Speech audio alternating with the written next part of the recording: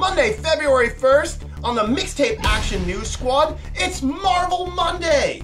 We continue our conversation about WandaVision with special guest Richard the Curtain and with junior reporter Dylan Willoughby.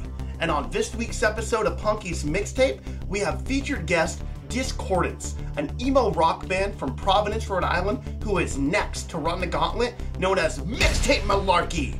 We also have music from Bofo Kwo, All the Right Friends, Spooky Boo, Mediaslaves, Minaxi, Baylies Band, and Urban Idols. That's this Wednesday, February 3rd at 7 p.m. And also, don't forget, we have an extra episode of the mixtape this week.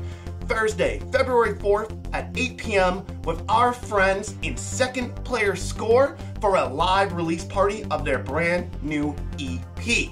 It's gonna be a wild week here on the Mixtape Network, and it can all be found on Twitch.